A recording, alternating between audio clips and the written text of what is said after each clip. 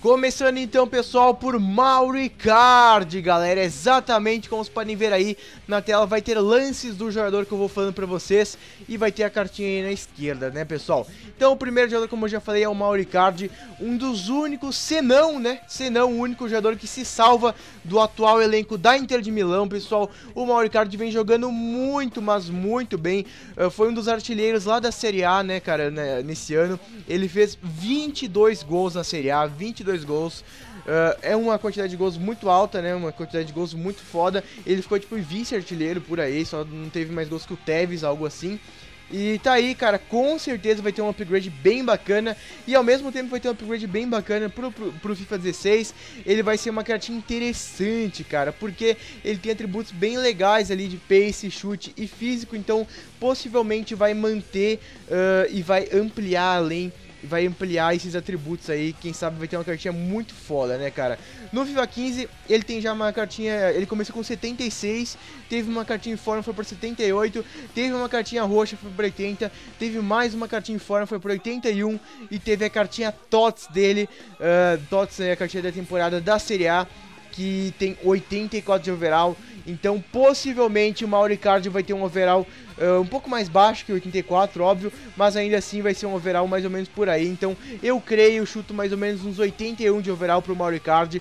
E é uma cartinha para ficar de olho que eu acho que vai ser muito bacana para jogar com essa cartinha. Uh, vai. Eu acho que vai ser bem parecido com a cartinha do Diego Milito no FIFA 13, para quem lembra essa cartinha, ela era muito boa, com 81 de pace, 80 de chute, 80 de cabeçada, enfim. Eu acho que vai ser mais ou menos assim a cartinha que o Mario Kart vai receber no FIFA 15, então tá aí. Mauro Card, um dos melhores jogadores da Inter no momento e uma revelação do futebol argentino aí, né, galera? Partindo então para o próximo jogador desse vídeo, eu acho que vai ser o jogador mais interessante desse vídeo, o jogador mais bacana de estar falando nesse vídeo, inclusive foi o jogador que eu pensei para começar a fazer essa série, entre aspas, aqui no canal, que é ele, cara, o Dybala, cara, exatamente, outro atacante argentino, dessa vez um segundo atacante, né, Uh, depende do jogo também. Mas é o de bala, pessoal. De bala aí uh, foi transferido para Juventus, tá? Então ele tá na Juventus agora.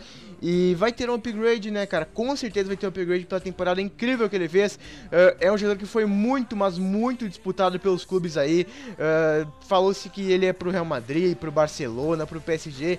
Enfim, falou-se muitos clubes que estavam interessados nele, mas ele acabou indo pra Juventus, se manteve no futebol italiano e foi pra Juve, né, pessoal? No FIFA 15, pessoal, o Dybala tem 70, eh, começou com 70 de overall no Palermo, teve um upgrade pra 74 e aí teve a cartinha TOTS, que foi uma cartinha que ninguém viu no mercado direito, porque quase ninguém tirou e muito menos listou no mercado, né? Mas era uma cartinha TOTS muito foda, né, cara? E o de bala, velho, ele atuou muito bem essa temporada, como eu falei, não é à toa que vários clubes se interessaram na contratação dele. E com certeza vai ter um upgrade, ele fez 13 gols, mas não mais por isso, tá? Não, como eu falei, como vocês já sabem, ele é segundo atacante, né? Então não é, ele não faz tantos gols assim, ele é um centroavante, mas pelas jogadas que ele fez, pelos alguns gols, pelas assistências, que, pela temporada inteira que ele construiu, ele merece um upgrade aí, e com certeza vai vir com o upgrade, eu chuto mais ou menos um 77 por aí, como eu botei na imagem pra vocês, é, um 77 tá de bom tamanho pro de bala, eu acho também, não tenho certeza absoluta, mas por aí eu acho que aí não vai aumentar tanto assim, porque também aí não vai ter muita certeza se ele vai manter esse rendimento agora na Juventus, mas com certeza o Dybala aí é um jogador para ficar de olho no fazer 6 e também no futebol, que possivelmente, né, muitos falam que ele é o novo Agüero, é o novo Agüero e tal, e vamos ver, né? Vamos ficar de olho no futebol do Dybala. Quem sabe ele deslancha aí e vira um dos melhores jogadores do mundo, né? Vai saber. Agora, partindo para o último jogador desse vídeo, galera, como vocês podem ver aí, é o Vieto, pessoal. Não sei se fala Vieto ou Vieto, eu acho que é Vieto porque não tem acento, mas não tenho certeza. Mas é o Luciano Vieto, atacante que atualmente está no Atlético de Madrid. Foi recentemente transferido aí uh, por Atlético de Madrid, ele era do Valência antes, tá? E fez uma ótima temporada também, o Vieto foi uma das revelações do Vila Real aí, atuou muito bem, tanto é que ele começou prata no FIFA 15, ele era 74 de overall, teve um upgrade para 76 para ouro e depois ainda recebeu mais uma cartinha de 78 de overall, que era uma cartinha laranja, tá? E possivelmente, até porque ele se transferiu para um time maior, né? Pro time de mais prestígio, que é o Atlético de Madrid. Ele vai vir aí com vai vir com overall aí a mais, um overall bacana. Eu acho que ele vai receber uns 2 de upgrade, vai vir com 78 de overall aí no FIFA 16. O Vieto, uh, Luciano Vieto aí mais uma promessa argentina, mais um jogador que, um jogador que comparam bastante com o Agüero, principalmente agora que ele foi pro Atlético de Madrid. E é um jogador que tem, né, talvez uh, possa deslanchar assim como de bala no futebol aí, né? Eu não, não vou arriscar dizer que ele tem futuro, mas tem chances daí, né, cara? Tem chances e eu acho que é uma boa possibilidade.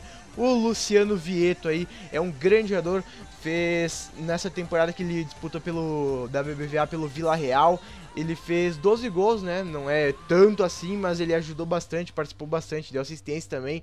Então eu acho que ele vai tem um overall bem bacana aí, acho que um 78 é de bom tamanho. E vai ser mais uma cartinha bem bacana, assim como o de bala, assim como o Icardi. Vai ser mais uma cartinha que vai ter uns atributos, uns atributos bem legais pra gente acabar jogando no FIFA 16, né, cara? Então, ficamos aí, fica o aviso aí, vamos ficar de olho no Vieto também, Luciano Vieto.